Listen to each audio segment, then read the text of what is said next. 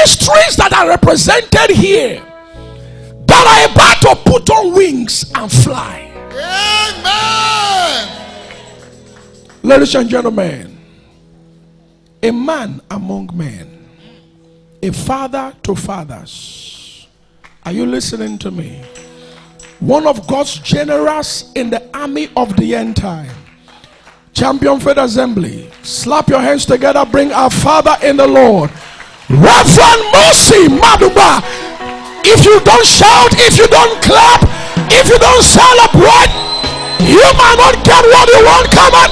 Celebrate. God is Shout. to do Hallelujah. Just what he says he will do. Yeah, he's gonna fulfill everything he says.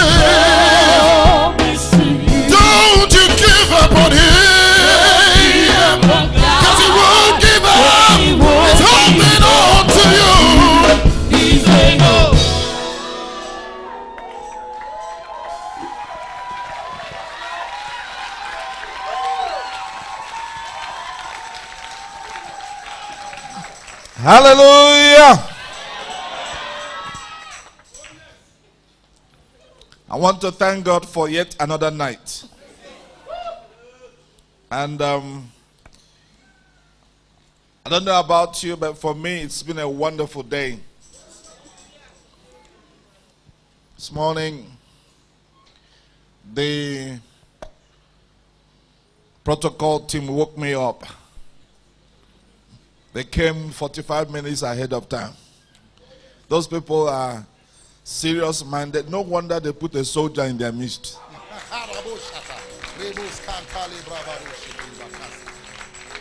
They keep the time, they're there to make sure things go the way they are planned to go. They drove me to where I needed to pick the passports of my family. You know, because the other day I applied for the renewal of their British visas. And I opened it and they gave them 10 years. Multiple Hallelujah. visas. Hallelujah. Hallelujah. So until 2025, they won't need to apply for British visa. Hallelujah. And I said, it's a new season. Yes, sir. The Lord of favor and the Lord of open doors will cause you to have your door open for 10 years ahead of you. When others are writing petition to have one year open door, the Lord will open the thing to 10, 20 years ahead of you. And then I had a meeting with some elders who made some decrees and declarations connected with the 24 elders in heaven and declare that it shall be well for Nigeria. Whether Satan likes it or not, if he likes, let him cry. It won't change it. It will be well for Nigeria. And whatever you have gone through today, if it was not very pleasant, we command a change to take place. That whatever made you unhappy today will make you celebrate tomorrow. That out of that unpleasant experience, God will yet glorify His name. And a promotion will come to you in the name of Jesus Christ. Amen. It's one of the unique days that the Lord has given to us. And we have every reason to celebrate it. Praise the name of the Lord. Hallelujah. Please, we may be seated. I want to thank Apostle Ojo for spoiling me a little.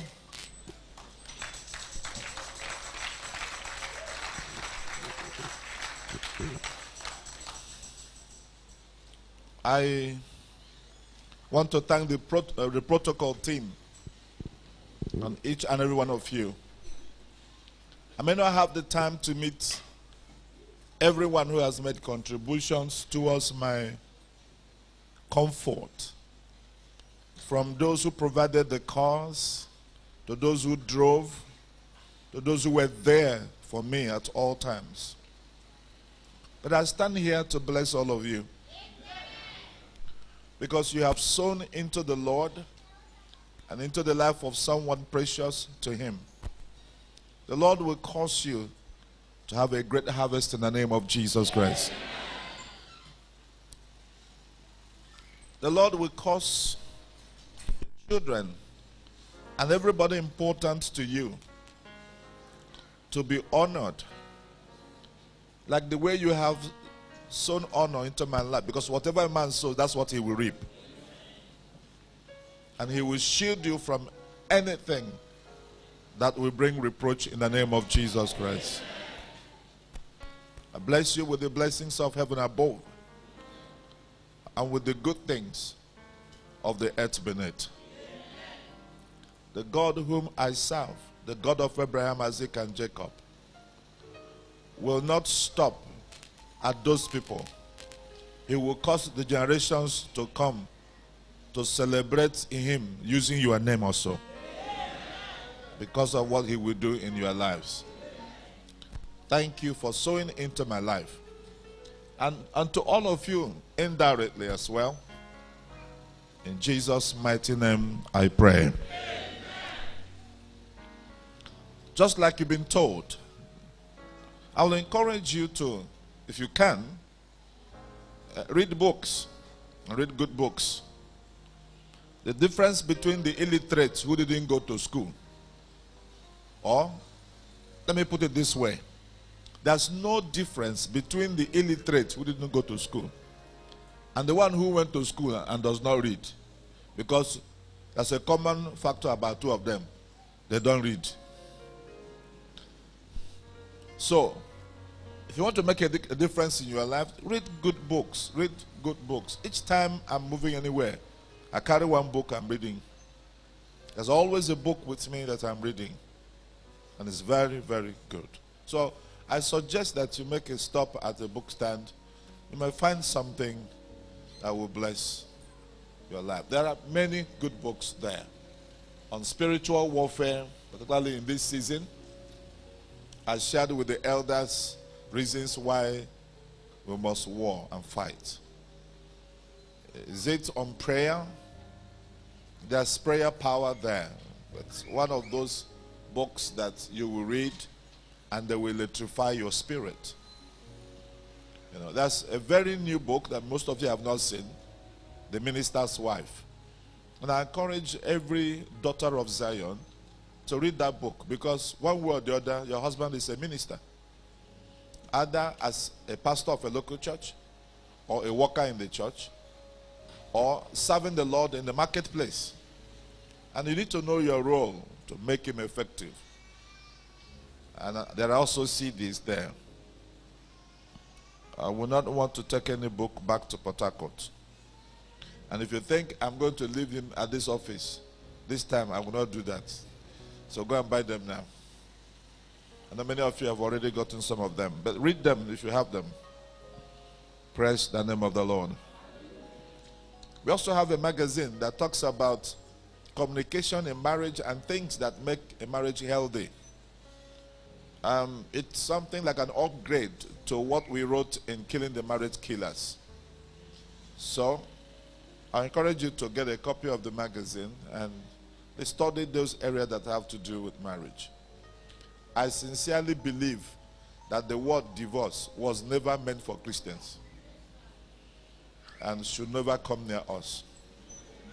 And as God lives, should never come to this ministry in the name of Jesus Christ. So, get things that will help you nourish and maintain your marriages. I'm sure that uh, you will enjoy it. And for those who are seeking to know God's will for their lives in the area of marriage, I want to encourage you to get a copy of Foundations Necessary for Successful Marriage. If you do what things you ought to do to get married, then the right person will show up very quickly. Uh, God has been waiting for you because you're not yet prepared. So prepare yourself, and then things will begin to happen. Amen. All right. Are we ready tonight? okay. turn with me to 1 Kings 22. 1 Kings 22. And then we're going to look at verses 5 to 8.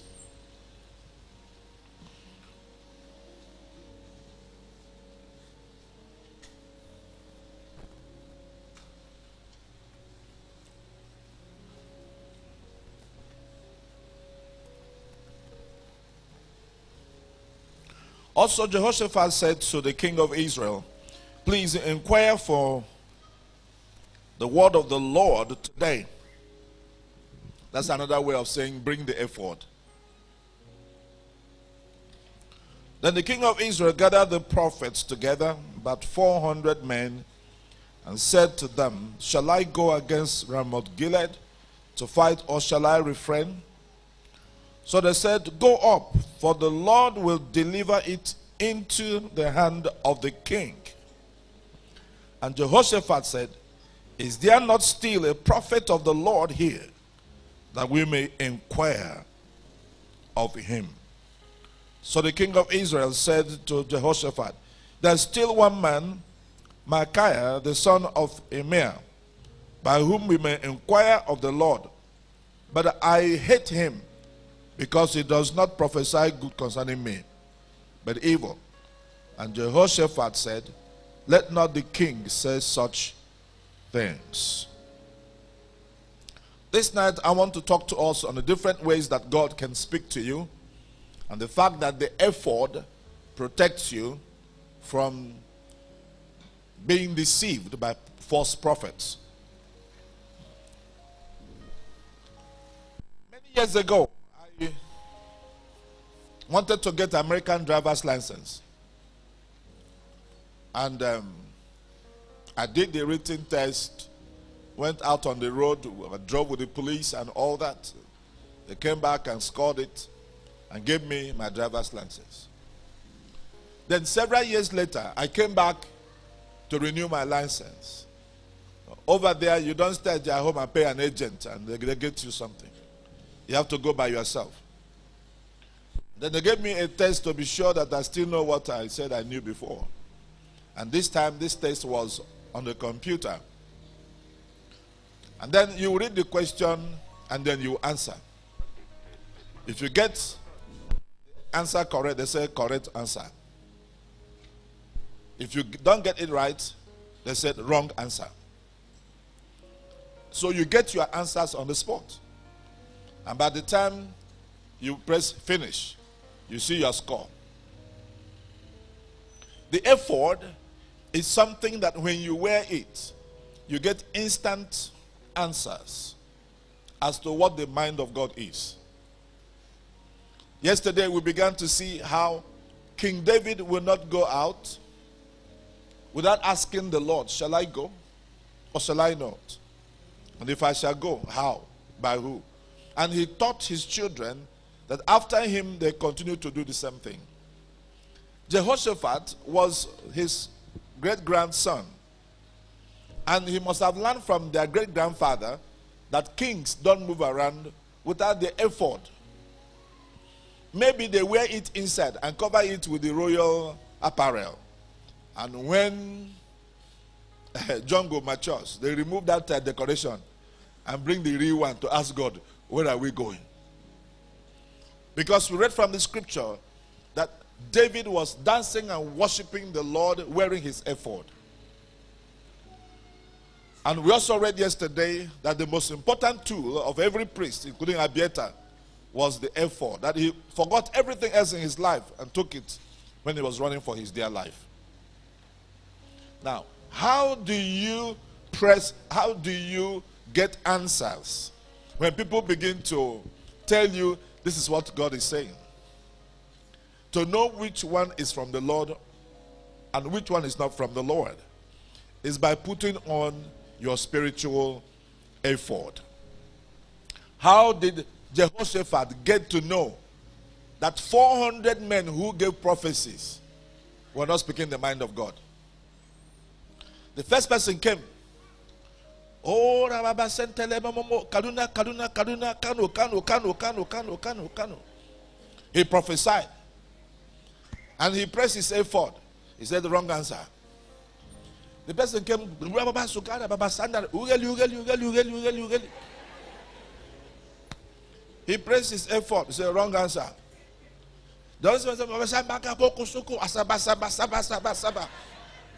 He pressed his ephod. He said wrong answer. 40, 50, 100, 200, 300. He will press. He said wrong answer. Until all of them, wrong answer.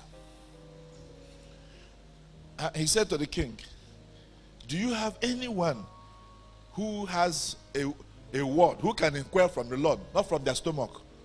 Because all of the, all these ones that I've had, my ephod said wrong answer. If you have your ephod on in the spirit, you will put all the false prophets out of business. Because when they say the things they say, you check your ephod. You will know whether it's correct answer or wrong answer. The reason why we fall prey to them is that our ephod is not even active, or we're not putting it on, or we're not conscious we're supposed to carry the ephod in our spirit. But if you carry the ephod in your spirit, and people say the things they want to say, you say to your ephod, what? The ephod will say, correct answer or wrong answer. And it protects you from falling prey to deceptions.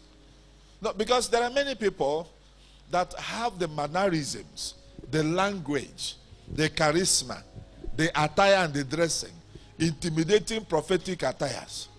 That when you see them, before even they talk, you say, God has come.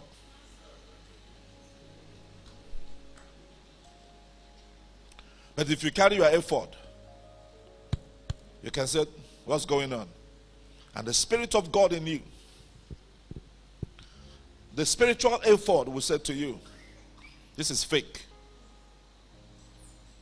Others around you will say, Why do you always say this? Why do you say this? They don't know you are putting on your ephod. Covered in your jacket, covered in your suit, covered in your blouse, whatever attire you are putting on, inside your spirit is your ephod. And a powerful instrument by the Holy Spirit of inquiring from the Lord to know which way to go. When you take your ephod with you, to protect, protect you from being deceived, from being swindled. These 419 people. Many times they have also swindled Christians, believers. You should be, be able to, by the time they talk, talk, talk, you say, My ephod, what do you say? He said, 419. Fake. I came back one day. One of my spiritual daughters, I grew up in her house. You know, went and hid somewhere. And I was like, who is acting like Adam and Eve in this house? The other said that some people called her on the phone and said they were the auntie's tailor and that they had accident. She should send credit quickly so that he can settle a few people there. And out of her own, you know, soft heart, she began to send credit. One five, one thousand. MTN. He said, No, the people are very difficult. Please send me Airtel. Two thousand. And she was sending until she sent eight thousand naira credits. She was doing that when the husband came back. You know. And um, the husband said, Why are you running up and down? She said, I want to buy credit. For who? He said, For my auntie's tailor. Why? And she told the husband. The husband took the phone and said, Yes, how much more do you want? And the young man said, For 2,000. It's okay. Now, what did you say happened to you? Say, had an accident. Sorry. So, where is your wife? He said, He's at home. So, can you remind me the name of your wife? Ah, don't you know my wife? Said, No, I know your wife now. Just remind me her name because I know her name. Ah, uh, uh, Bros. He said, I am so and so's husband. Uh, do you know what I do? He said, Why are you talking like that? So he picked on the phone and said to the, to the wife, If this man is that your auntie's tailor, he knows I'm a pastor. He knows I know the wife's name. He could have told me the wife's name. Normally calls me pastor, not bros. So, can't your ephod talk? Hello? When you put on your ephod, you'll be protected from those who use British number and call. I don't know how they do arrange that thing, but you see plus four four, and the person is greeting you. Nakedu.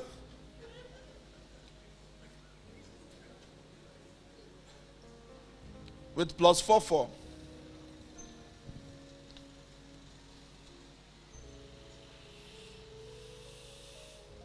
There are many fakes today around the world, whether it's in London or in the US or everywhere. Now, I want to let you know that there are fake prophets everywhere in the world. They were there in the days of Jehoshaphat.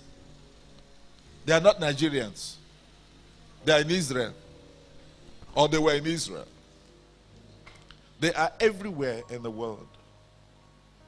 You know, I used to think that Israel is a holy land until they stole my phone. They picked it.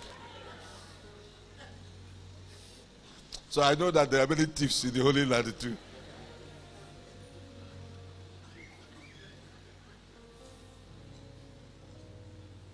Crow eyes like that.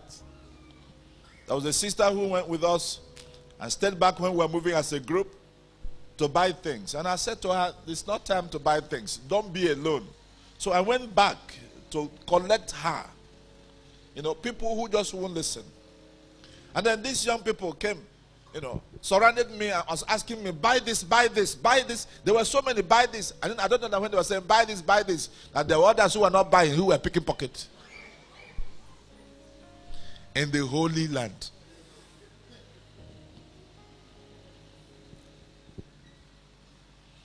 There are people who will like Champion Faith Assembly and like the girls there and the way they worship.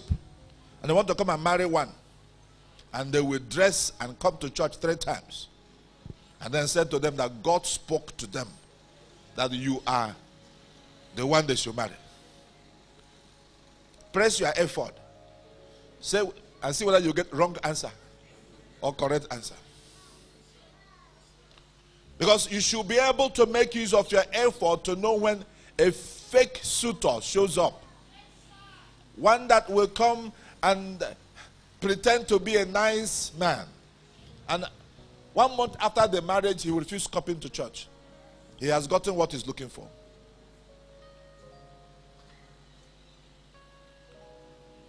You need to make use of your ephod to be able to choose business partners.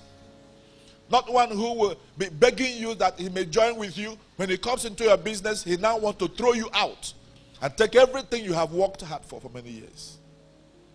And you say, but God, why? Okay, you, where was your ephod? Why did you not inquire of the Lord? Why was your ephod not active? Why? Your ephod is instrument of knowing what is the mind of God concerning everything in life. You want to make an investment? You want to buy stock? Consult your ephod. Should I buy in this season? Is it a good time? Must it be from this company? Because God is interested in everything you do. If you could take time to ask Him, He will be glad to talk to you about it. He will. John chapter 10, verse 27. There he says, My sheep hear my voice. I want you to find it for yourself. John 10, verse 27. My sheep,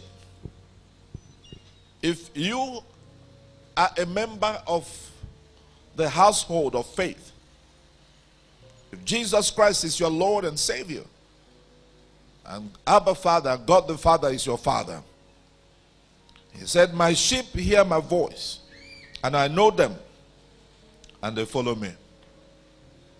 He will speak to you. He will speak to you. In verse 5 of that same chapter, he says, Yet they will by no means follow a stranger, but will flee from him, for they do not know the voice of strangers. You must be close enough to the Lord that you know his voice so well that when somebody fakes it, you will know. Yesterday during the drama, somebody was faking the pastor's voice. And he was sitting down there and laughing. The person tried. But if you know his voice very well, you will know that that was not his voice. The person used his words, but not his voice. Hello? If you're close enough to the Lord, if you are effective in making use of your ephod, no matter how the enemy fakes the voice of the Lord, he can use the words, but he cannot use his voice. Jesus said, The voice of a stranger they will not follow because it will be strange to them and they don't follow unfamiliar voices. Let me quickly share with you 18 different ways you can hear from the Lord. You can make use of your ephods, uh, your, your ephod. Number one, audible voices. In 1 Samuel chapter 3, verses 1 through 21,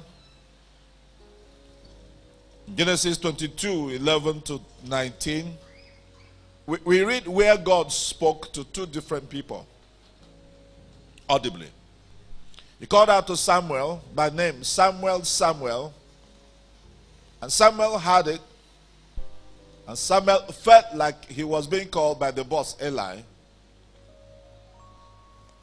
And then he ran to Eli. Three different occasions. And the man figured out that since nobody else is in the house, it must be the Lord. And told him how to respond to the voice of the Lord. This is not very common. But then it happens. It happens even today. I spoke to somebody very recently who shared that with me. I, there's somebody in this house who had a chat with me not long ago who had God like that. It happens. And God may want to choose that method to speak to you. Number two, through inward witness by the Holy Spirit dwelling within you. This is called the inner personality. In Romans chapter 8, verse 38 to 39. If your spirit has not been suppressed by negligence, if you have been a friend to the Holy Spirit and you have a good relationship, your spirit will be in harmony with the Holy Spirit. And through your inner spirit, you can hear Him very well. When I'm ministering healing in a meeting, I don't hear audible voices, but I hear in my spirit what I need to know. Recently, I was in Cameroon and I had finished ministering, praying for people. I was walking out, and I had in my spirit that there are three people that they have dug their graves. It's a matter of time, and they'll be buried. I had almost given away the microphone, and I excused them and took the microphone. And I said, There are three people here, they've dug your graves. It's a matter of time, and you be cut off, and you won't live long. But God has made me to know it, and I intercept it, and I command the grave to, uh, to be closed, and I command the power of God to strip you of that grave clothes, and then allow you to live your life normally. At the count of three, I command that now to take effect. The three of them were thrown up and then they began to roll on the floor. And then I asked them to allow them just for a minute or two. And when they calmed down, I gave them the microphone and walked away. Nobody came and wrote a piece of paper and gave me. Nobody talked to me audibly. But I was walking away and I heard it in my voice. There are three people. The enemy had dug their grave. And so you can hear, you can hear God deep in your spirit. It's possible. So try to be quiet in your spirit, not noisy. Because he can be speaking and you are carried away by things. But even while you are singing and you are worshiping, even when you are driving on the road and you're talking with someone, you can be listening. One day, a lawyer came to see me with a problem. And then he came and he greeted me. He said wonderful things about the work we're doing. And when he finished with that, with the, all his praises, he said, Thank you very much. I just came to greet you. He was walking away. I said, Excuse me, that's not why you came. Because when he was about to go, the Holy Spirit said, Ask him why he came. So I asked him, That's not why you left your house and came. You came for something else. So can you tell me what it is? He looked at me, smiled, and started looking on the ground. And then he looked up again and said to me, How did you know? I had my ephod on. So I said, Can we go back so you can tell me why you came? He said, Okay. Just like that. So you can listen to the spirit inside.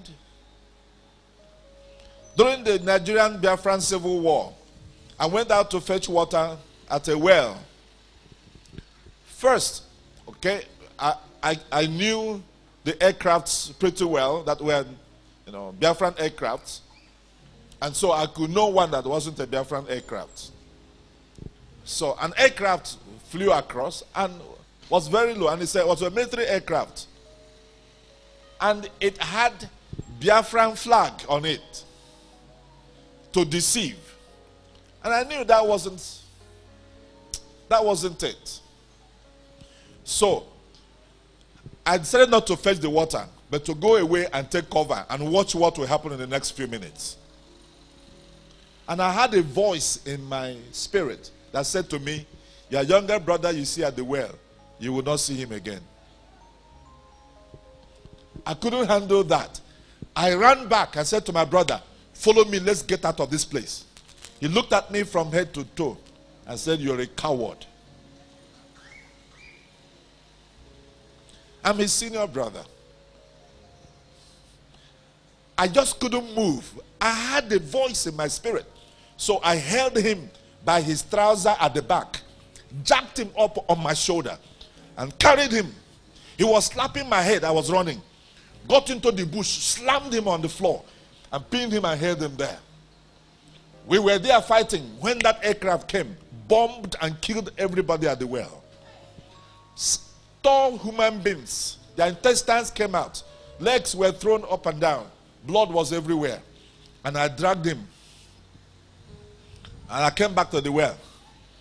I said, The man who is not a coward, this is where you could have died. And I left him there and walked away. He's still alive till today. But I could have lost him that day. I'm glad I took the slapping and the beating from my younger brother. But he's alive. No, it will help you save yourself from unnecessary tears, unnecessary pain. You will save lives. And the life you may save may be yours, or that of your husband, or that of your wife, or, or those of your children.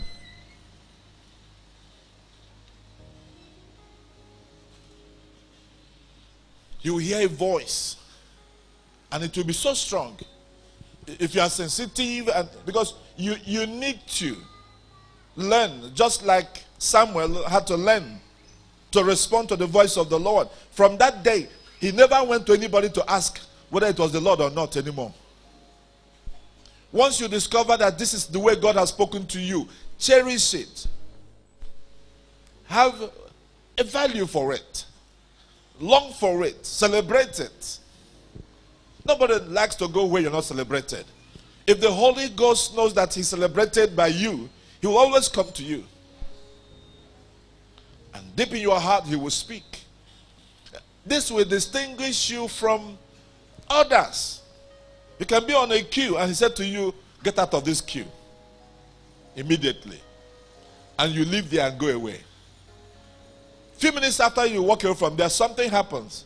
Somebody begin to think, maybe you knew it will happen. You were just obeying the Lord, speaking to you through your spiritual ephod. It's not just inquiring from the Lord. The ephod gives direction. The ephod protects you if you listen.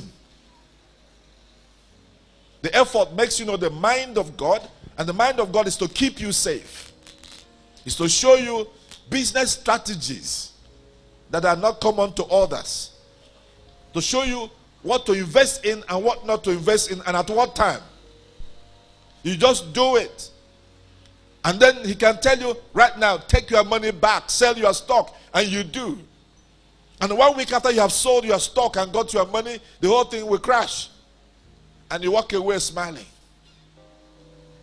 And people will be looking at you. You're a wonder to your world because your ephod is effective.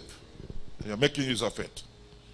Number three, requested circumstances.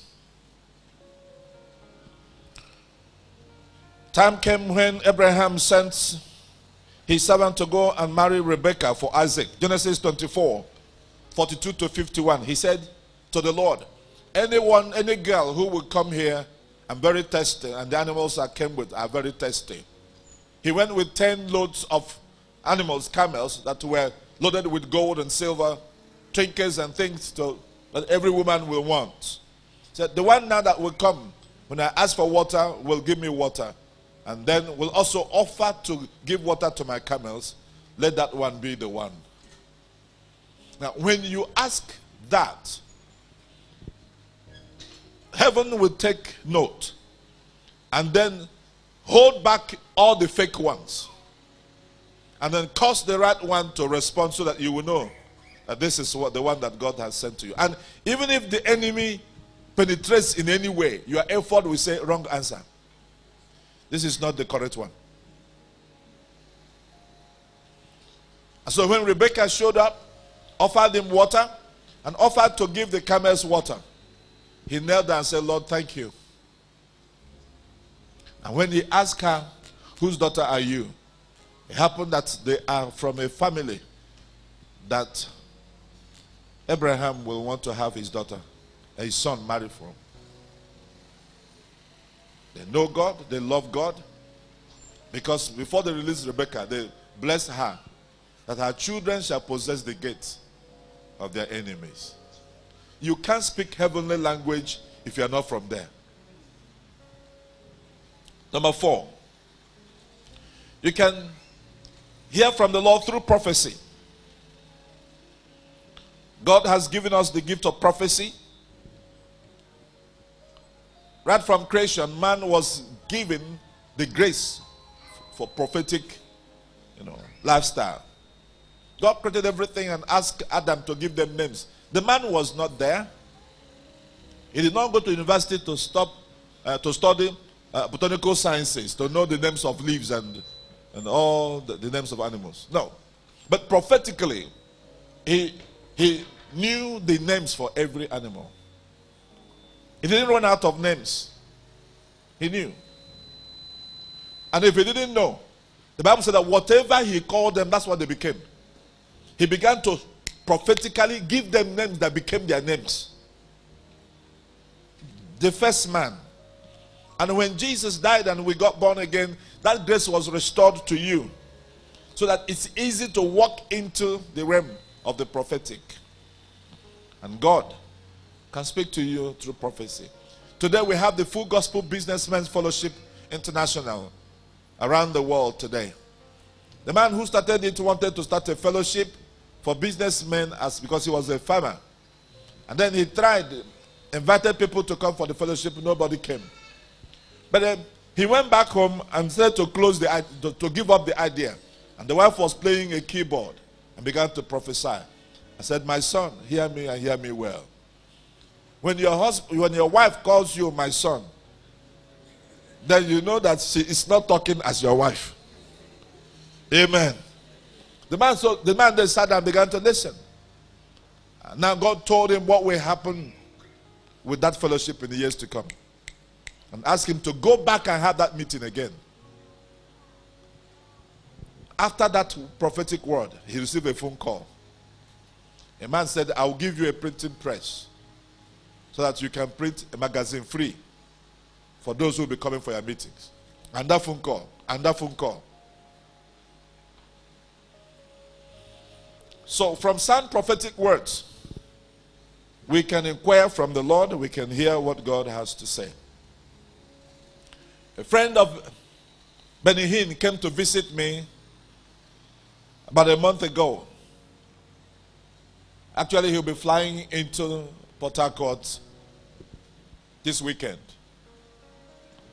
And why did he come? The Lord said to him where he is in, in Seattle, Washington, to come. And he came. And, and I said to the Lord, but he didn't tell me anything about this. So as I was talking with him, he mentioned that he was going to see someone. I said, okay, when I go to see that person, on your way out, we will talk. I told my wife, I called my children, and I said, I don't know why the Lord didn't tell me about this. Let's pray. So as we began to pray, two of them began to prophesy concerning him. And I had my ephod on. And I touched my ephod. He said, correct answer. So I touched my wife. I said, please record these things. When the man finished his visit and then came back to me on his way back to the US, and I said to them, We had prophetically from the Lord concerning you the following. We made a copy and gave him. He started crying. He said, Everything there is correct. And I think that's why I came.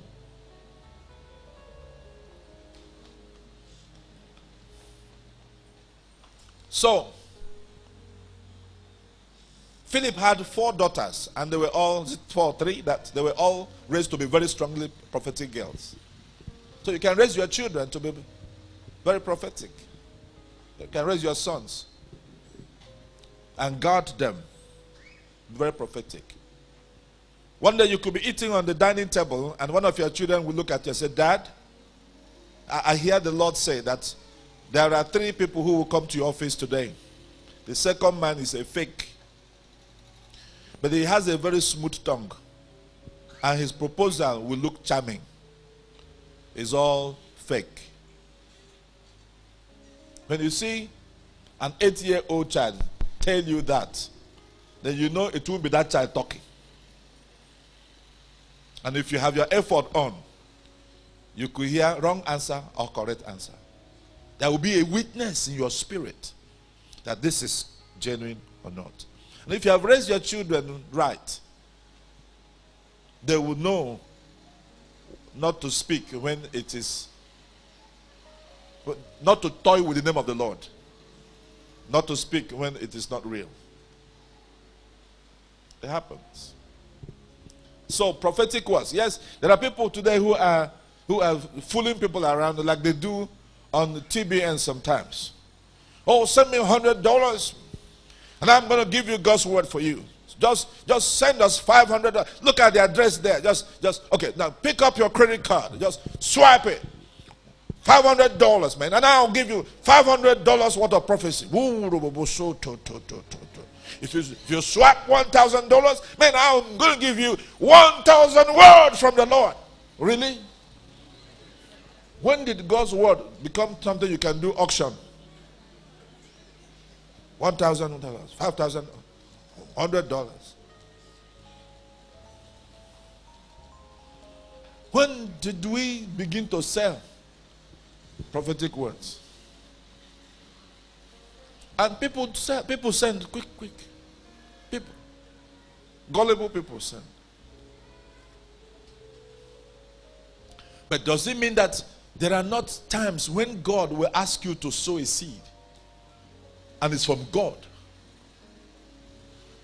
No. There are times like that. There are times like that. When God wants to really bless you, He can ask you to. But not too often will He ask you.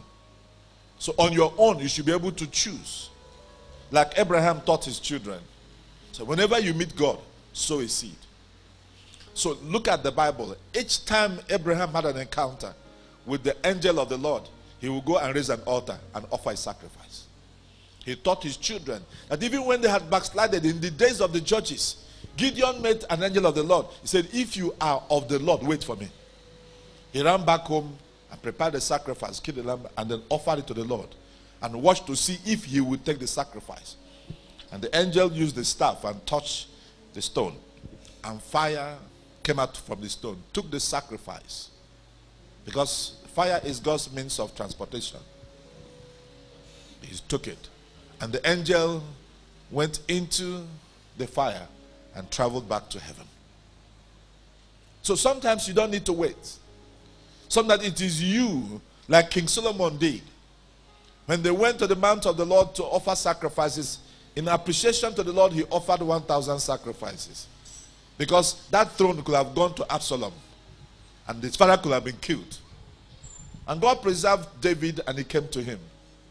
And God said, No, this sacrifice is worthy enough to invite me to come physically myself. And God came down to meet him. God did not ask for it, He just gave it to him. Prophetic words. Number five, dreams. Someone like Joseph, Daniel, Stephen, Cornelius, Peter, and many others received their messages and instructions and guidance through dreams. Genesis 37 5 to 9. We see where God spoke to Joseph in a dream, something that helped him become a prime minister, kept him focused. He, he hid the dream the Lord gave him, and it helped him to go through everything in life until he got to where he was. Daniel was like that. Stephen in Acts 7 55 was like that. Remember also when Jesus was born, God had to meet Joseph in a dream. When Herod wanted to kill him, God had to meet Joseph in a dream. So, dream can be a powerful way through which God can communicate with you. And if you have a strong and clean dream life, now polish it, sensitize it, and make use of it. And sleep in the night with a pad but beside your bed and a torch and a pen. When you have that dream that God wants you to make use of, He will wake you up so that you can write it down. But if He wakes you up two times and you don't write it down, then He will stop because you have no regard for it. Why do you need to write it down? Because many times when the day breaks, you will forget the dream. And you will be like the kings of Babylon looking for a Daniel to remind you the dream that you had and forgot. The dreams will come to pass, but then you forgot it and will not prepare for it. Dreams have shaped nations. Dreams have promoted many. Dreams kept Daniel at the top of government in Babylon for many successive generations, dispensations, and regimes. It was dream that brought Joseph to the high place in Egypt. He could dream, he could interpret the dreams. So, your dream could take you to any place. Your dream can take you to any place. remember when um, Chief Olusegun Obasanjo was the president of Nigeria. And uh, we were going to the Sunday where we were going to have the Forces Remembrance Day. We woke up in the morning and my first daughter said to me, Dad, last night I saw the head of state shot in a parade.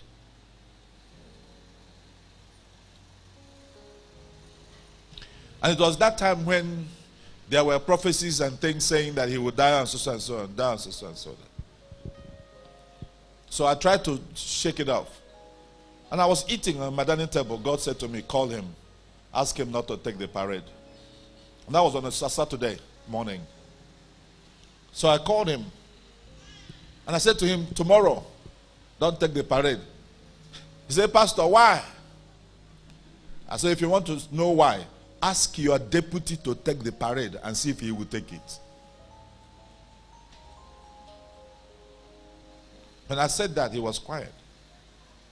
And after a while, he said, Okay.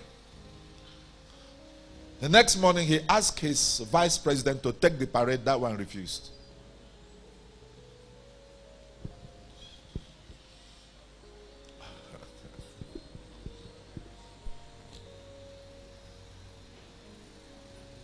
So, it's possible through dreams you can get messages. It works today as before. You can save the life of a, head of state, the life of anybody, your own life. You can. I was in Ebonyi State a few days ago. That was two weeks ago. Dr. Mokbai and myself were in Enugu to organize prayers for Nigeria. We had close to 10,000 people at Okpara Square, something like that. And then he headed for Uyo and headed to Ebonyi State. And then one of my staff was supposed to go to Port Harcourt, go back to Port Harcourt. That night, the father called him, who is a pastor in Bayelsa. He said, I, I saw you in the dream where we came to collect your corpse and tow your vehicle from a pit last, no, last night. So he called me and said to me, This is what my father said. I said, You know what? Call him back and ask him. Tell him you are, you are about coming back to Port Harcourt. Tell him whether you must, you must come back to Port Harcourt. He called the father. The father said, He should stay, he better stay with me and not come back. And that my staff knows how to speed. We are praying that God will deliver him from the spirit of speed. He drives like Jehu. He, I don't know whether he doesn't control the car. He just puts one hand and the other hand on his laps and he starts flying. Maybe God knew that on his way, alone, driving alone, maybe he will fall asleep or he will enter into a ditch or something and his car will somersault and then he will be dead in a, one of those gullies. And then we'll have to go and pick his corpse in the car. The father saw it, called him, and he told me, and I said, Come on, follow it up. And he stayed with me, went with me to Ebonyi State, and I asked him to drive behind me as we go back to Port Harcourt. He's still alive.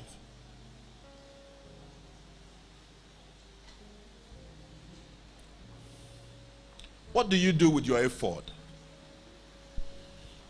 God didn't just leave every any generation that serves the Lord. He he gives them the ephod in one way or the other. Number six, visions. There are five types of visions.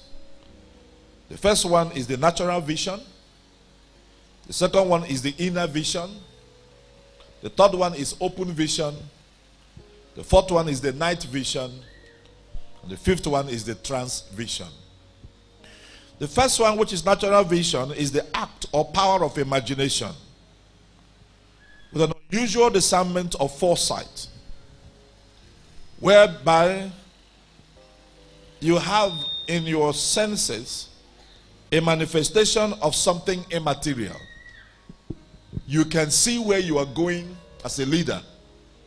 You know the destination others don't see. And so when things are happening on the way, they say, go back. You are not likely to accept their suggestion because you're already seeing where you are going. And you're already seeing yourself arrive there. So that will help you go through the turbulence. Face the difficulties. when others don't see what you see. Power of imagination. Where there's no vision, the people perish. And every one of us must have a vision. And sometimes they call it a dream, but it's not a dream. They said the poorest person is not the person who doesn't have money in the bank account, but it's the one who doesn't have a vision. You don't have a place you are heading to. Number two, the inner vision. This is a situation where God paints a picture. You can see it in the inner man or spirit man. You see the picture. In Paris, an architect drew the building plan of an important edifice. And then before they finished the construction, he died. On the day they were dedicating it, the president of the country said to her, to the wife, We wish your husband was alive to see this building. She said he saw it, otherwise, he couldn't have drawn it. You are seeing it now that the building is finished. But he saw it before he began to draw it. Every architect must see the building before they start drawing. And they see it inside them. And they start drawing. Number three, open vision. Open vision comes when your eyes are wide open. It's like watching a movie screen as it displays a scene that God wants to show you. The National General Secretary of the General Council of Assemblies of God Church Ghana came to my conference in Port Harcourt. As the message was going on, he was touching the wife. "Don't- you see that writing? Don't you see? The wife said, I don't see anything. He said, See that thing, read it. The wife said, I don't, are you okay? He said, Okay, let me read it for you. He read it for the wife. I said, Are you not seeing? The wife said, I'm not seeing it. So he asked for the wife a pad and he wrote what he saw written there. As soon as he put full stop, the thing disappeared. That thing was an instruction from the Lord of what to do when he gets back to Ghana. On his way back at Murtala Muhammed International Airport, he called me with a crying tone. I became afraid. I don't know what has happened to him. Man of God, what is the problem? He said, It's not a problem. He said, What I've been seeking God for 23 years, I received it in this conference. Direction.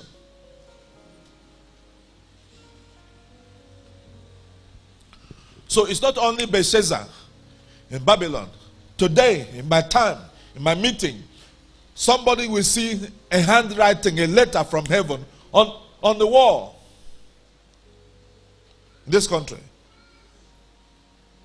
I know a professor at Awka in Anambra State who told me that one day he came out in the evening and saw a, sent, no, a full sentence written on the sky. And he read it and called the wife to come and see. Sometimes you who ought to read and see and use it is only one who sees. Sometimes someone else may be able to see. But most times it's the one that is the owner of the message that sees. It's like a movie. You watch it, it's clean and clear. Being projected from heaven to you. It's called open vision. Number four, the night vision. The night vision is what we call the dream. As you lay sleeping in the night, then God gives you pictures and takes you to places. Number five, the trance vision. The trance vision occurs when your natural abilities are frozen so that God can minister whatever is needed. Sometimes happens when you fall under the anointing. Your natural abilities are frozen and God takes you on a tour. Assuming you are an unbeliever and you are arguing there's no hell, you come to church and the power of God can hit you and you're on the floor. And the angels will carry you and take you on a tour of hell in five minutes. When you wake up, you tell people there's hell. Sometimes it could be a tour of heaven. Sometimes it can take you to a meeting where they are plotting against you. You see all their faces. You will listen as if you were in the meeting. When you get up from there, you can pick a phone and call somebody and tell them what they discussed in the meeting.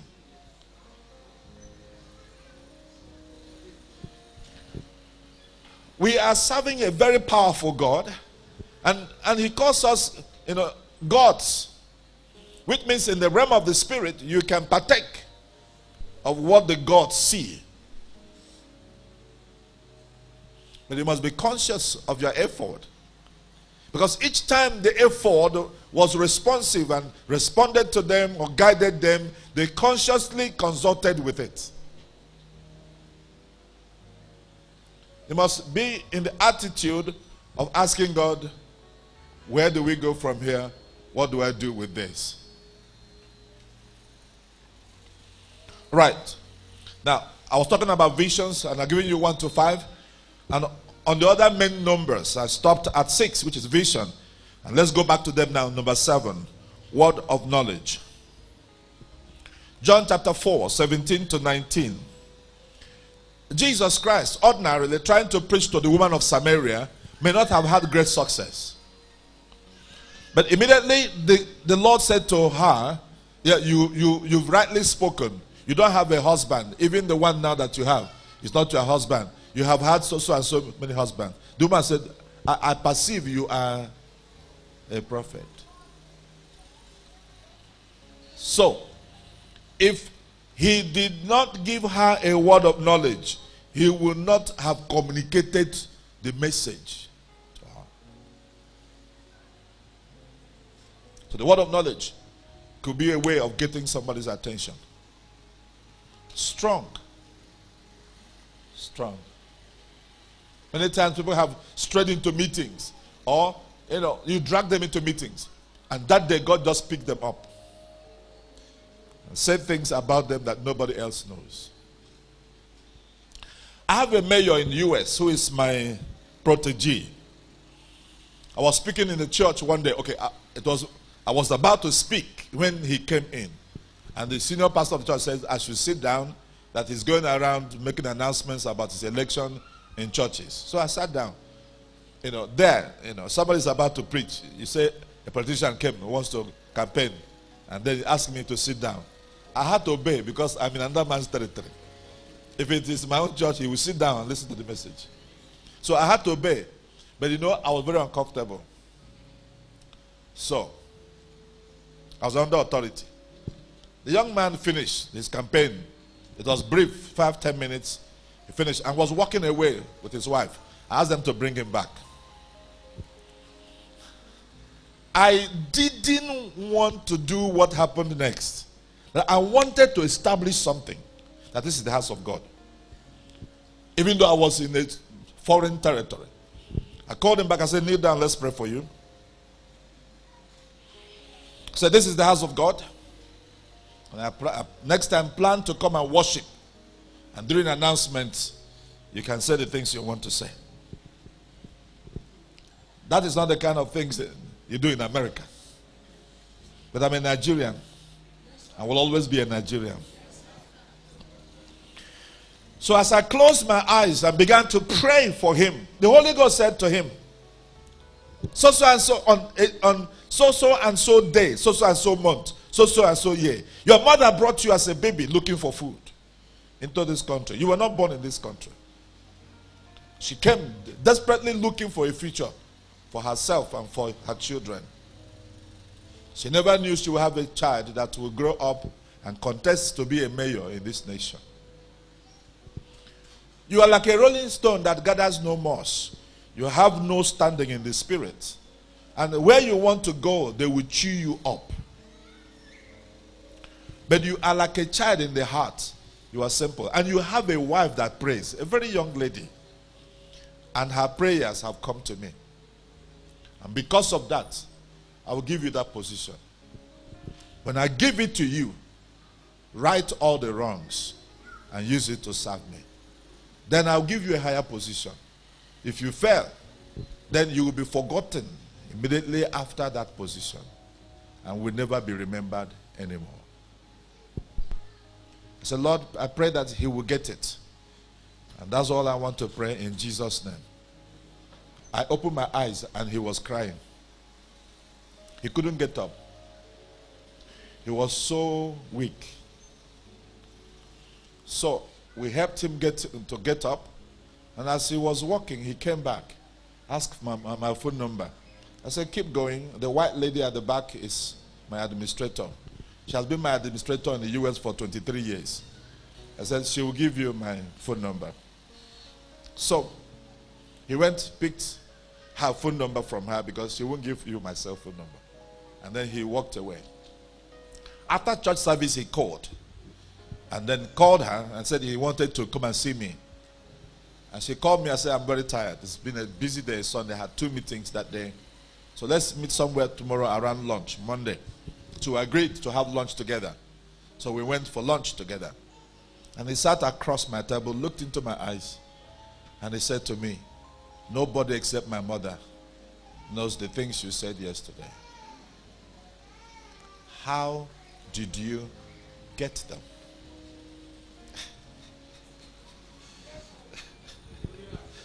the ephod. At the end of the day, he knelt and said, Could you be my mentor? I said, I live in Nigeria. I'm not a politician. He said, I don't care, sir. Can call me on the phone. I can talk to you. Can I? I said, Why not look around here and ask any of the U.S. pastors to play that role for you? He said, I have been searching.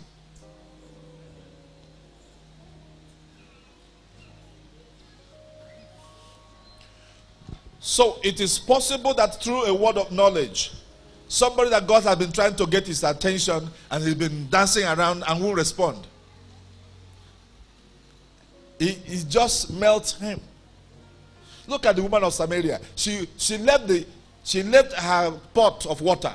She couldn't carry water. She ran to go and become an evangelist. Word of knowledge.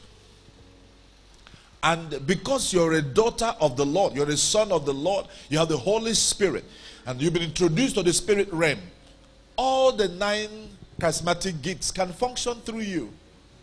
You too can give a word of knowledge by the Spirit. You don't struggle about it, just by the Spirit. Make use of your ephod. Number eight, Word of God through the Bible. The Bible is so rich, you know, almost every page you turn to. That's why God spoke to Joshua. He said, Meditate on it day and night, and you will have good success because it will tell you what to do and what not to do. If you listen to it, you will have good success. The Word of God is a good ephod. Make use of it to be well with you. Number nine. Word of wisdom. First Corinthians 12 8. Why did they call Ahithophel?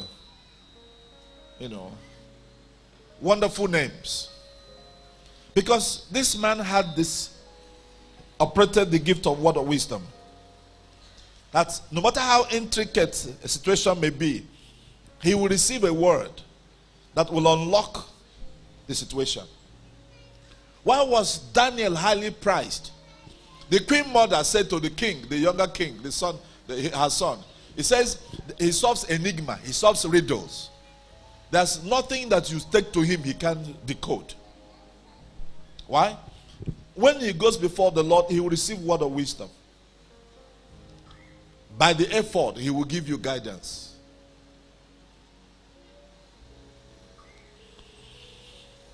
I pray today that even as you listen, that the grace of God that releases gifts will envelop you. And your ephod will be activated. And all these gifts of the Holy Spirit will start working from tonight in your lives in the name of Jesus Christ. Words of wisdom. Number 10. God can speak to you through creation in Numbers 22, verse 28, we read the story of Balaam and an ass, a donkey, speaking to him. It happens. What about the snake that spoke to Eve? In Luke chapter 19, verse 40, God said to the elders of Jerusalem, If you don't praise the Lord, the stones will cry out. And for real, the stones will have spoken. What about in Psalms 19, verse 1? David was com- commanding creation to come up and speak up. They speak. They utter their voices early in the morning. The birds sing. They talk. And they understand each other. And sometimes they can bring messages to you. The rainbow in the sky, they can speak. If the sons of darkness can use them to send communicate things, then you can. Also, command creation to send messages. Back in the east where I come from, this election has gone into a nuclear spiritual warfare. They are consulting altars that are strong. I went and I prayed, I led prayers and prayed for someone in Aba. And a horde of bees, huge, followed me to Port Harcourt. First of all, he went to anyway we were having projects, and then chased the people away. And I wasn't around. And he went straight to my study in my home in Port Harcourt. And my children were around. And then they spoke to the bees and addressed them and then commanded them to go back to whoever sent them and bite them and bite their children and bite them in their bedroom and bite them everywhere. so when I came back and they told me what they did, I asked them to give me five. If they were unbelievers, they'll be shaking. Because our security man, when he saw it, he said to them, It's a bad omen. And my peer said, Shut up your mouth. You have not been delivered from their village mentality. You know. So I was so like, so they could send bees after me. All right, now they will see bees. So we call for bees and ask them to develop anointing and go back and deal with them in a way that they will never again try it in their lives. A few days ago, creation.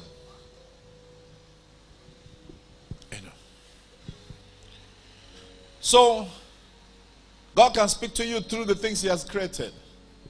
I remember the first time I went to a town in River State called Bonny, either Bonny or Nembe in Bayelsa. I got in the midst of the sea. I couldn't see where we were coming from and where we were going. There was no end, there was no beginning. In the middle, I just began to sing, Oh Lord my God, when I hear awesome wonder. You cannot help but wonder. I'm from a dry land, and here I am I in the middle of the sea. I can't see tree. I can't see anything. All I could see around me was just sea, and I didn't know where I was. And I don't know how those who, who drive those boats know where they are going. Just looking at what God has made. How he got water, dug a place, and filled the place with water. That's that huge. It speaks volumes to you about this God. Look at creation. And you will know. God will speak to you about who He is. Number 11. Godly counsel of mature, well informed, up to date, active, spirit filled, spirit led believers and friends. Now, let me take it slowly. Amen. I know some of you were like, where is he going to? Okay. Godly counsel of mature, well informed, up to date, active, spirit filled, spirit led believers and friends. I am very careful to say they must be well informed, up to date in the spirit, active and spirit filled, and allow themselves to be spirit led believers and friends. Because you remember the young prophet who was killed by the old prophet. He was an older person. He had been prophesying in the land. And he thought he should be the only one God will use. And if God must use anybody, the person must connect with him. And he killed the young one. Because God had finished with him, he had allowed himself to be disconnected. And a young prophet, out of respect, obeyed him and died. That's why that mature counsel must come from somebody who is spirit led.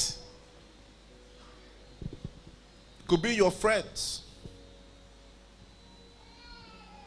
it could be your mentor. That's a, a pastor that is doing very well in Port Harcourt. That pastor is very close to me. He agreed with his wife that they will have two children when they got married. And they had their two children and they were girls. And the wife insisted that she wants to be pregnant again and have a boy. And the husband said, It's impossible. It will not happen. So, and because of that, stayed away from the wife because he didn't want the wife to become pregnant. And that wasn't funny. So the wife now took the phone and called his spiritual father. So let me report your son to you. So the man one day left the town where he, you know, he resides, flew to Port Harcourt, checked himself into a hotel, and invited two of them. He said, I didn't come to Port to do any business. I came to Port because my friend, your wife reported you to me. He said that uh, you don't believe that she will have a baby boy. You agreed to have two, and you have had two. But she wants a baby boy. And he said there's no guarantee that if she has another one, it will be baby boy. So I came so that there will be peace. I came so that two of you will be happy. You are happy, she's not. And two of you have to be happy. Can I use my position as your spiritual father to ask you to go home and sleep with your wife so she can have another baby that will be a boy? Out of respect, the young pastor said he could have asked the spiritual father, Are you God? But this is his spiritual father. So, but we agreed it's two. He said, Yes. She doesn't deny that. But she said, they, the agreed to has not solved all the problems he had. So let's go for third one. I'm giving it to you as instruction. And they went back home. And the wife took him. And they had a baby boy. So, yes, God can use your, your godly parents, your senior pastor, to speak to you, to guide you. And if you're obedient, uh, you will reap, you will enjoy, you will be blessed. Number 12, writings on the wall. I've already told you. Daniel chapter 5, 24 to 31. The writing that with which God spoke to Belshazzar. And the one with which he spoke to that man from Ghana during our meeting in Port Harcourt. Number 13, peace of mind. 1 Corinthians 14, verse 33. 1 Corinthians 14, verse 33. God is not the author of confusion, but of peace. That's the summary of the verse. When somebody proposes to you, and everybody is getting excited about the man, oh, he has a good position, he earns fast salary, he has flashy cars, lives in well furnished, exclusive part of Abuja, and each time you remember it, your heart literally flies away from your chest. Don't go. Because all that glitter are not gold. Peace of mind is one of the gifts God has given to you for your ephod to communicate to you that God is in this business or not. If God is in a business, you have peace. When your heart palpitates and you are sweating and you are frightened, you are not at peace about anything, don't go on with it. Your ephod is saying, It's not safe. But if you suppress the voice of your ephod, and in the midst of that turbulence in your spirit, uh, and continue, whatever you see, you take. Whatever you are doing and you don't have peace of mind, don't pursue it. Philippians 4 6 to 7. Be anxious for nothing, but present your matter to God, and the peace of God, which passes all understanding, will flood your heart. If it does not, then back out. That's what your ephod is saying. Number 14, the spirit of discernment of spirits. Your ephod will be able to tell you this is a clean spirit or not. Peter and his friends were, no, it was Paul actually, ministering, and here comes this girl who was praising them and saying they were God's people. Yes, the girl was saying the truth, but the girl was possessed. Had to cast out the demon from the girl, and they gave him a thorough beating. Must discern the spirit that's at work. Number 15, voice of transformed conscience. God has a way of transforming your conscience, such a way that a living conscience should be able to say no to this. We have a judge in the house, and he has to try many cases. Sometimes he works in a team of others, and others will you know, receive money and want to give certain judgments, and he will not. And he will be a lone voice in the midst of others. Why? Because he has a living, active conscience that will not deny the innocent justice. Today, people suppress the voice of their conscience. The Bible says that their consciences are seared as if with iron.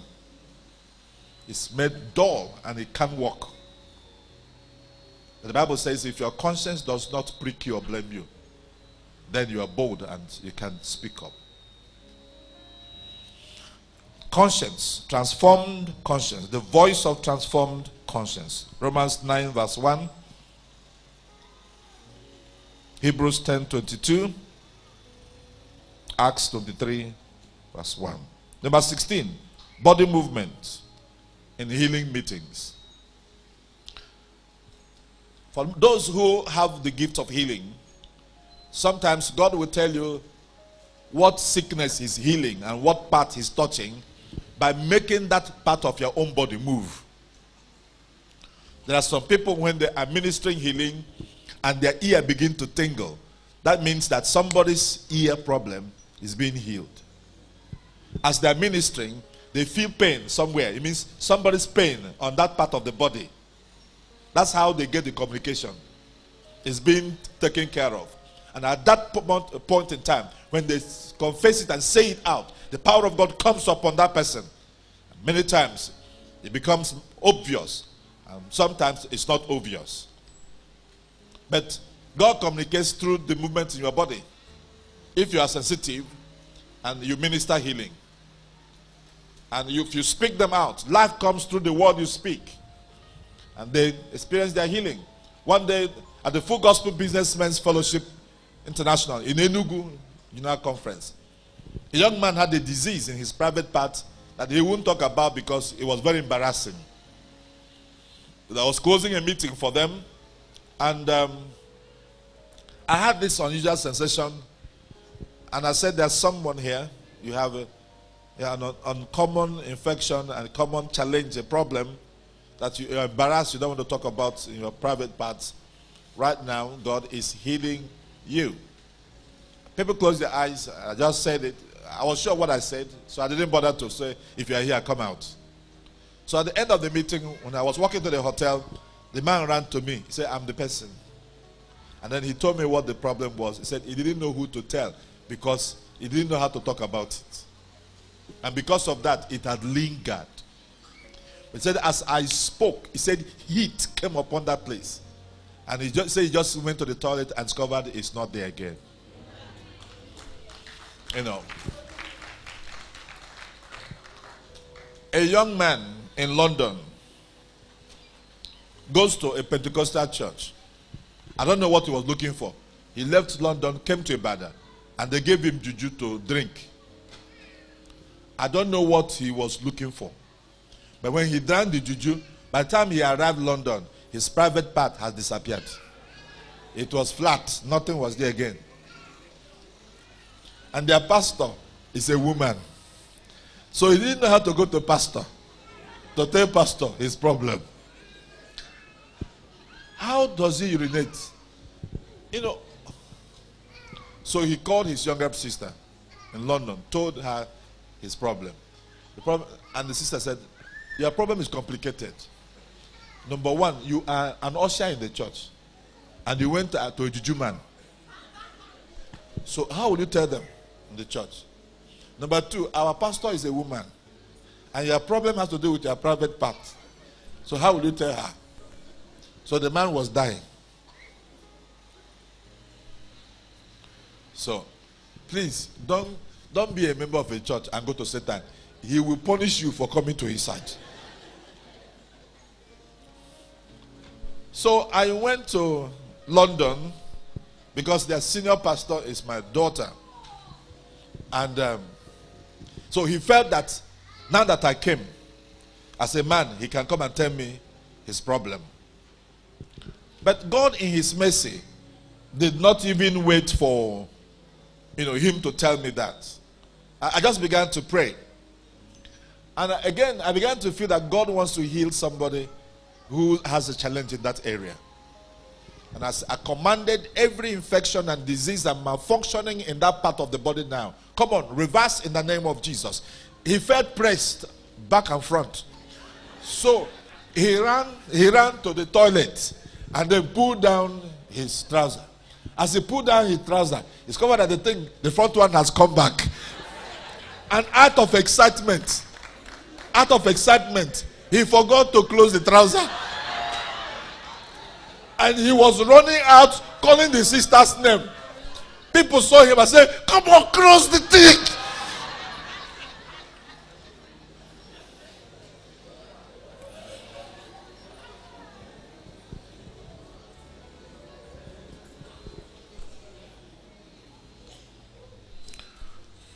Finally, the last one, number 18. God, huh? 17, sorry, 17. Through miracles, signs, and wonders. We live in a country where there are all kinds of religions. Arguing religion will not get them saved. But by manifestation of signs and wonders, it will become clear to them. Acts 13, verse 8 through 12.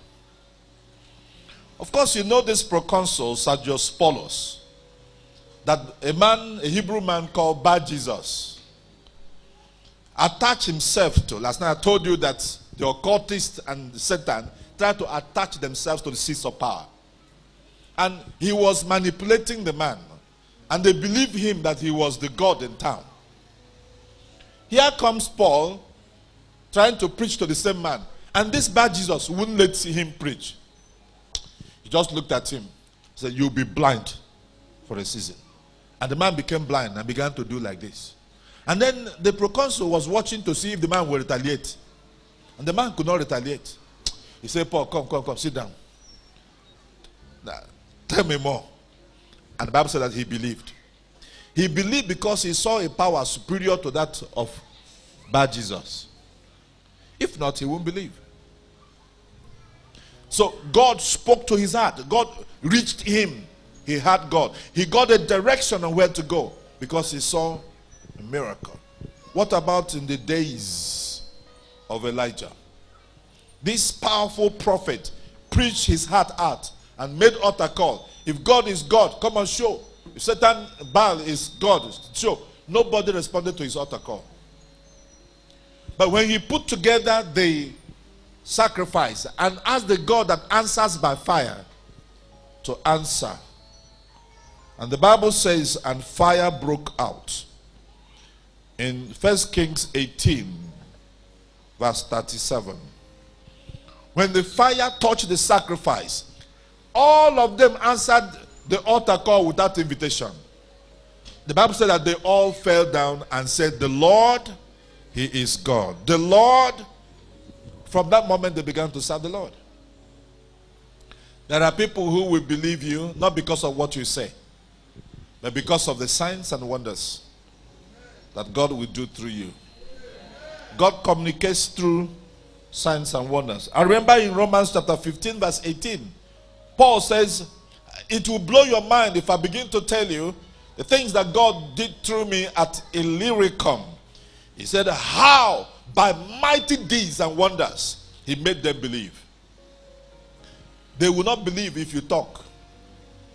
But if you produce a sign in the name of the Lord, they will believe. How did God convince Pharaoh of Egypt? Words could not make him do anything. The three times when he said, I repent, was because he saw power superior to his power. Then he believed. He believed. I believe once I've told you the story of what happened when God asked me to go to Australia to open the heavens. I didn't know what the problem was. I felt it was a spiritual language.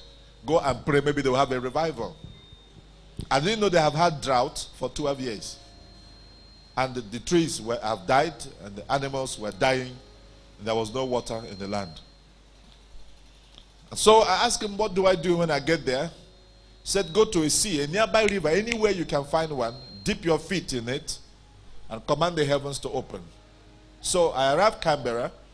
The Nigerian embassy gave me a car and driver, and I had another, took another vehicle and pastors with me. We drove three hours to the nearest place where we could find water. And I asked a few of them to walk with me into the river. We deep, you know, put our feet in it. And we held a hand. I said, Lord, in obedience, I traveled, I flew 27 hours to come here. I command the heavens op open, that your will will be done over Australia in the name of Jesus. We said amen, and I prayed for them, and we stepped out. Before we got into our car, it began to drizzle. And I saw hefty men shouting, screaming, jumping up with bulging stomach. And I was like, suddenly in my village in Nigeria, I see little children jump up when they see rain. How can adults be doing? I never knew they had not seen rain for years. So I asked them, said, I learned that there are people called Australian bushmen. Are these ones the bushmen? The people laughed. They said they are not sure because they were white. So where we went, by the time we got to Canberra, three hours later, we saw television, flood waters was carrying cars up and they were floating on the street. And the newscaster says, finally, the heavens over Australia, her words, finally, the heavens over Australia have opened. He said, we have had rain today, today alone, more than we have had it cumulatively for 12 years. Okay. So it was then I understood what we came for. If I knew that they have not had rain for 12 years, and God told me to go and open heavens, I would not have the courage to go. Because the problem was too much for me to think about. But he made sure I didn't know until we finished. I flew back to Nigeria. The Prime Minister of Australia heard about it. I don't know how the story got to him.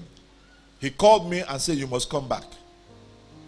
I said to him, I didn't do anything wrong. He said, No, it's not anything wrong. We want you to lead us to pray the way you prayed in that river. I told my wife, she said, Go. So they bought a business class ticket for me. This time I didn't pay for the ticket, so I flew. And he assembled all the legislators, all ambassadors, all the governors of the provinces to a prayer breakfast. He says, Pray again the way you prayed that day. Now, listen to me. If I had paid him a, courtesy call and told him to gather all his people, I want to lead them in prayers, the man will look at me and say, We are very busy people. You know, the government matters, you know, issues, you know, you they are so overwhelming. Uh, thank you for visiting. He will shake me and ask them to show me the door to go back. But something happened that got his attention. He now was the one that called for the meeting at his own expense and paid for me to come back. God has given you something that can make the whole world stand still because of you. And up until now, maybe you have just walked with one level of grace whereby you have lived as a Christian, but you have not been able to communicate through, or the Holy Ghost to use you to communicate to your environment in a, wa- in a way that your world around you will respond to you. Saul went out to look for donkeys. And he met Samuel. And after that meeting, he became the captain of the army of Israel. He didn't follow through the civil service cadre. He didn't go for interview. He didn't go to their military school. And he didn't come from the tribe of Judah, where kings come from. He came from the tribe of Benjamin. Everything about him was very unlikely. But he had an encounter that kind of suspended every protocol and took him where nothing but God can take him to. I stand in the presence of God today. At this year's ephod conference to ask the God of our forefathers, Abraham, Isaac, and Jacob, the Father of our Lord and Savior Jesus Christ, and my God, the one that has given me testimonies I cannot tell you, the one who rules in the affairs of men, the one who made creation and walks through them to express himself, the God who designed ephod and gave it to his people. May that God today activate in your life a supernatural ephod that will cause you to be spiritually sensitive in such a way that no man, no spirit will be able to deceive you. No power will be able to overcome you. But the reason of that ephod He's given to you, you will stand and speak, and your word will stand still. When it is needed, you will communicate in the language they must understand and they must respond. If before now they have treated you as you as if you don't exist, from this night, the opposite will be the case. They will now begin to function as if they cannot live without you. You have families that have not spoken to you and looked for you for a long time will not have the next meeting without you. When they gather and you are not there, they will say they are not complete. When they gather and you are not there, they will say they have not formed the quorum. When you speak, it will be like an oracle has spoken. By the power of the ephod, you will flow with the grace of word of wisdom. And even from tonight, let the grace that produces miracles, signs, and wonders, that makes you a wonder in the midst of your people, that causes them to respond when you speak, now be activated in your life. Be activated in your life. Be activated in your life. Be activated in your life. In the name of Jesus. Whatever you touch will sense the power of God and respond. If they were dead, they will come back. Dead businesses will resurrect. Dead good relationships will resurrect. And sicknesses will be healed by the power that flow through your arms. Even as I speak, even as I speak, at the sound of my voice, I command our bodies to respond.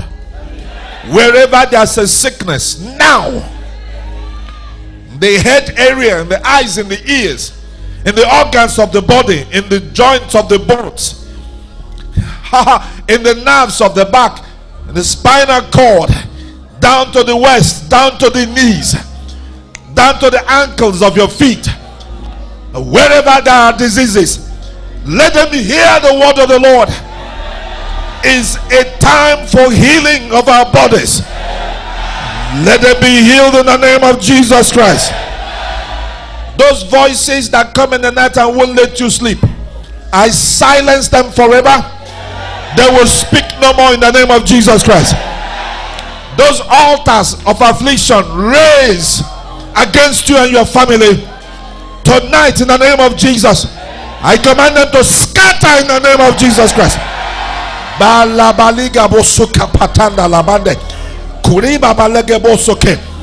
Those things projected into your belly, inside your body. I command the windows to open, the doors to open. Come on. At the count of three, let them leave your body. One, two, three. Ah!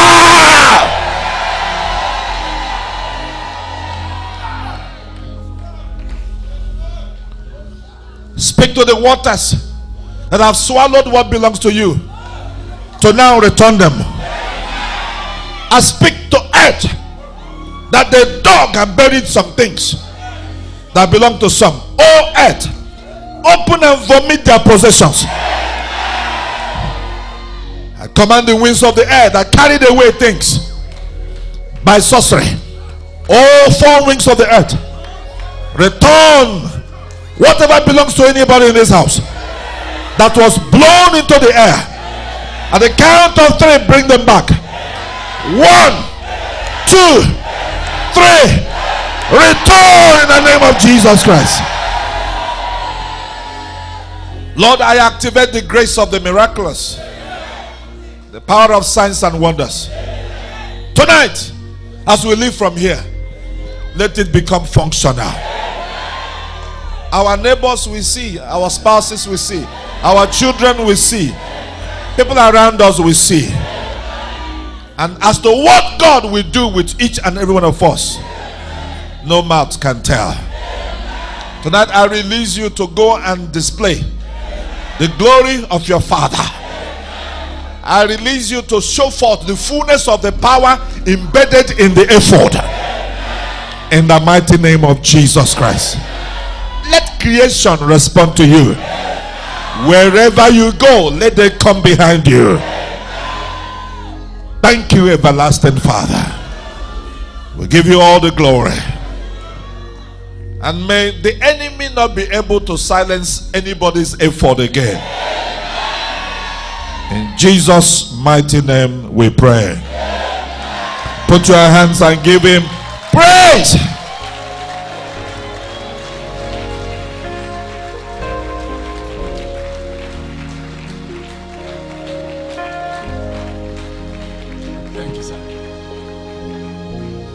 Tired of clapping those hands?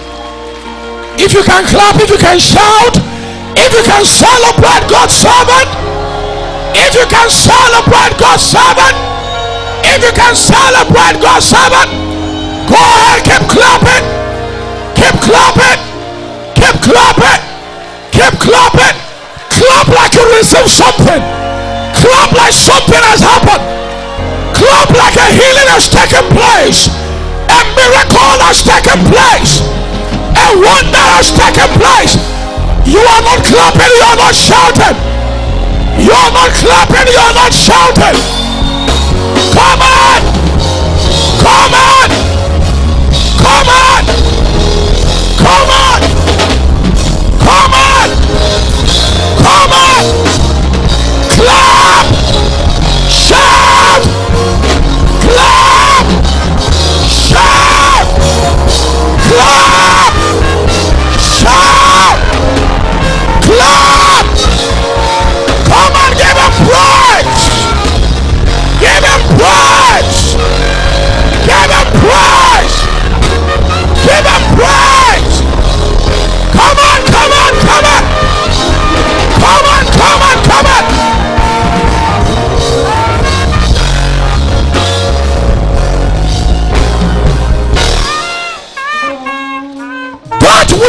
Servant have deposited, may it be permanent in our lives.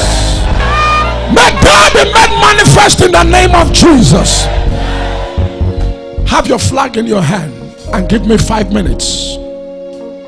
If you have no flag, you've written something in the paper. eh, Because I want to I want to open doors of nations. I want to open doors of I have the key.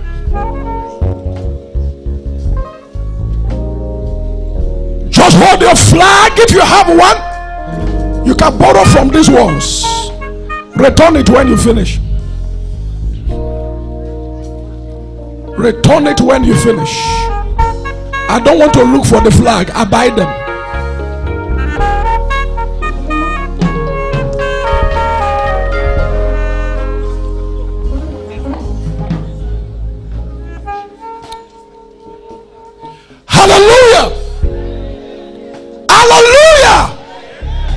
Please stay with me and look at me, please.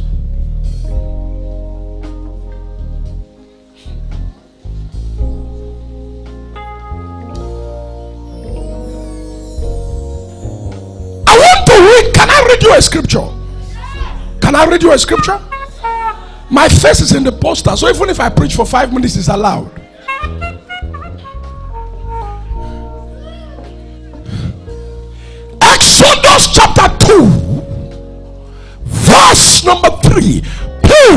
Please, please, please, stay connected to me for the next few minutes. I beg you. Exodus chapter 2, verse 3. And when she could no longer hide him, tell your neighbor, I cannot be hidden. If you say it better, you are coming out of a covering. Can you shout, I cannot be hidden? Shout, I cannot be covered. I'm about to promote somebody. and when she could no longer hide him, she took for him an ark of the bulrushes and daubed it with slime and with pitch and poured the child therein and laid it by the flags of the river bank. When she could no longer hide him, these few minutes that the Lord have used his servant to put us in the place of speed. I just want to tell you for the next few minutes that as you walk out of this ephod, you are walking out of every covering. Whatever they used to hide you, not to fulfill your destiny, see you coming out of that covering. Whatever they used to hide you so that you will not get married, I see you coming out of that hiding. Whatever they used to hide you for your destiny not to speak, I see you coming out of that hiding. I speak upon you today as you wave your flag, the nations will respond to you. As you wave your flag, the nations will open up to you. As you wave your flag, the nations will surrender to you. Can you lift up your hand and shout, Yes, yes, yes, yes.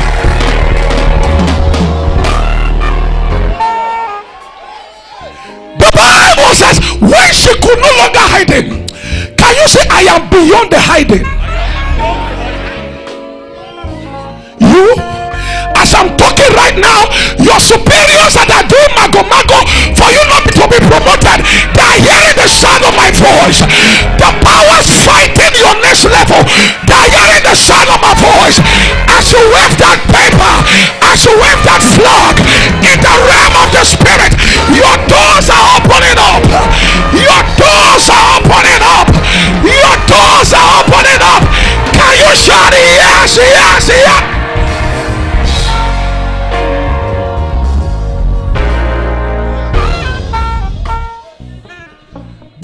Bible said when she could no longer hide him, can I announce to you? I just got the news. You are going to be who they say you cannot be. If your amen is louder, it will happen to you first.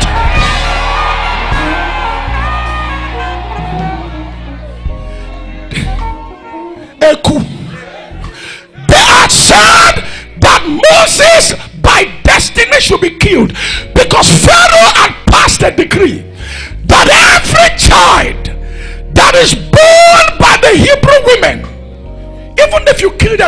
You, they will give you money for killing them. But there was this child. There is something inside him. Can I tell you something?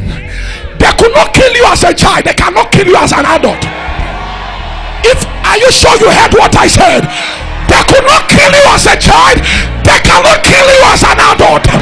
They could not hold you down as a child, they cannot hold you down as an adult. Destiny, I speak upon your life, I speak upon your business, I speak upon your finances, I speak upon your system. You are beyond their covering, you are beyond their hold, you are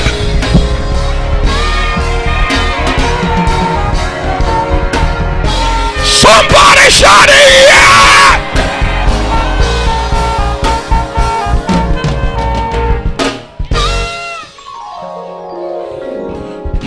Moses' mother, Eku,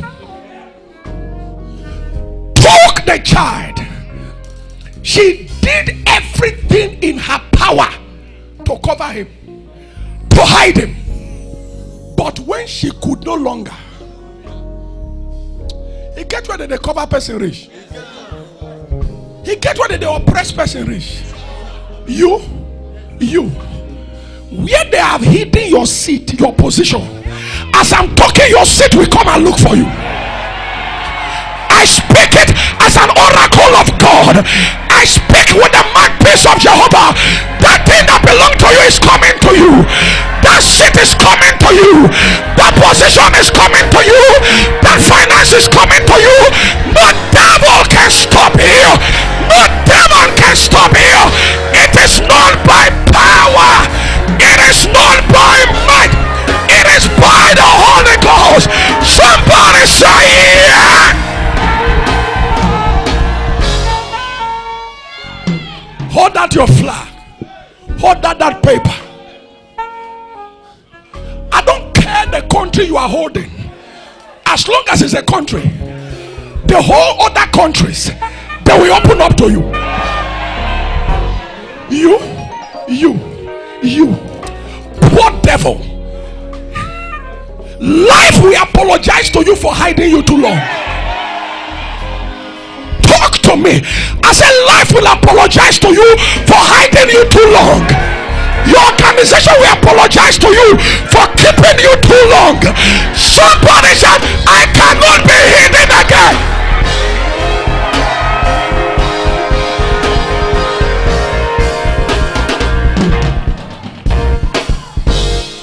Tomorrow, tomorrow evening, tomorrow evening, this place will catch fire.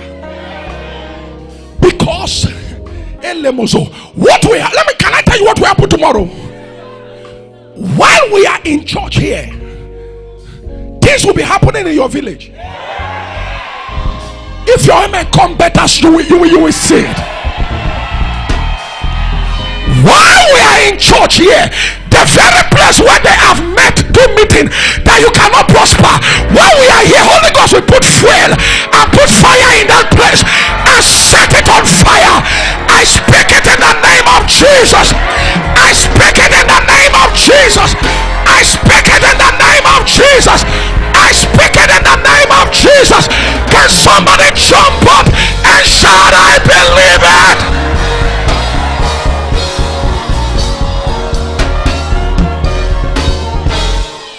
Let you go.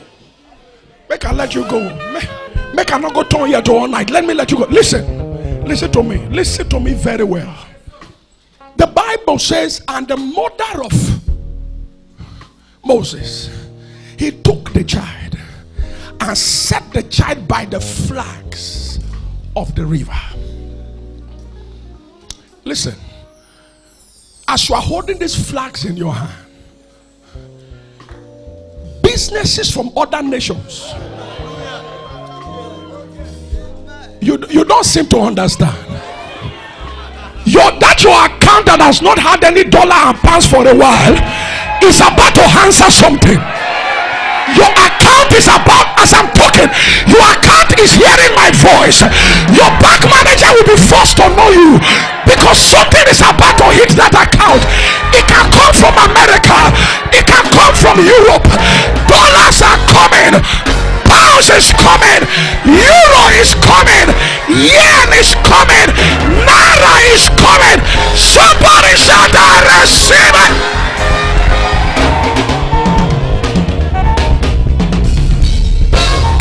Can I make you pray two prayers so that you go? Lift that thing up. Say, nations of the world, open up. Listen, listen. If you not pray, now you do yourself. So, nations of the world, I speak to you by the anointing in the ephod, by the corporate anointing of all the men of God in the ephod. I speak to you, nations. Open up now. Open your mouth and pray. Command the nations to open. Command your business to open. Command your womb to open. Command your finances to be released. Command your doors to open.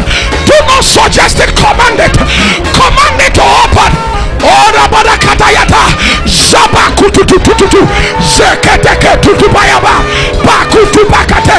I command you to open. Command the nations to open. Let the continents open. I receive intercontinental breakthrough. I receive it now. Lubaka tudaya.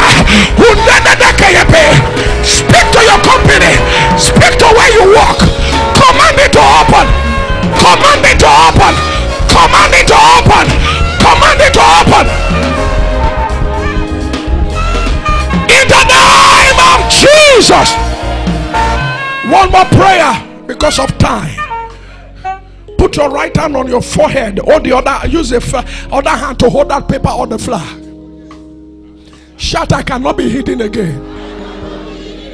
Shout, the covering has expired. You didn't talk. Say, the covering has expired. Say one more time. The covering has expired. Listen to me before you pray. When the covering is active, hear me, hear me well. When the covering is active, people will know you. They will debate your matter to help you or to promote you.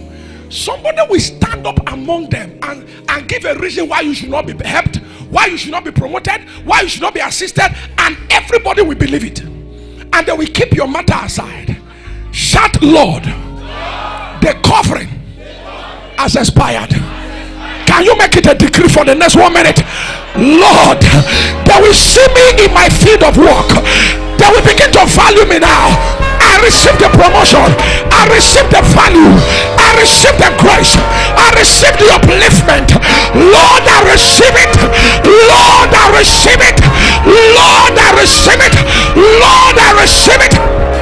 Zabadadadadadayate. Ulabakatuyata. Bakatayata labaso. Lord, the covering over my life has expired. Over my ministry has expired.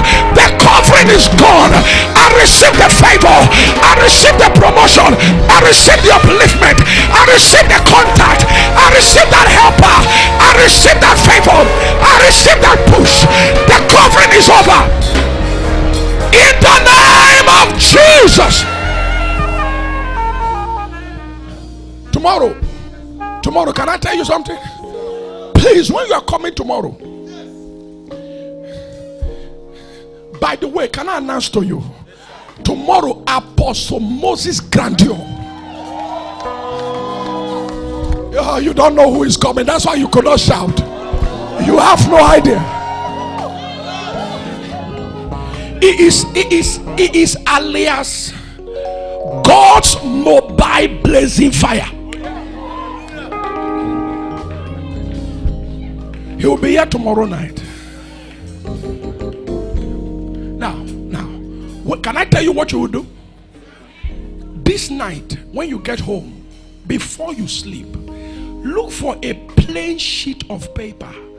A4 precisely if you have, but if you don't have, tear notebook. Plain sheet of paper. Everything that you are tired of, that is still in your life, consciously write all down. Are you listening to me? Anything that you are tired of, loneliness, sickness, backwardness, disappointment, whatever it is that has that has kept tears in your eyes secretly. Deliberately script it down.